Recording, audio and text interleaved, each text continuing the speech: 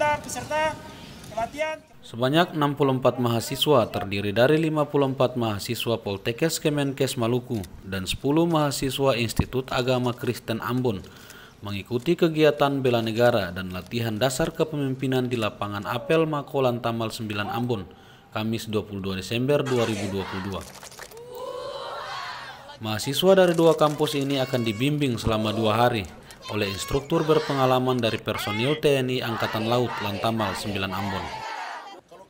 Kegiatan bela negara dan latihan dasar kepemimpinan ini bertujuan untuk menanamkan sikap, perilaku, dan tindakan sebagai seorang warga negara yang baik dalam menjaga kedaulatan, keutuhan wilayah, serta keselamatan bangsa dan negara.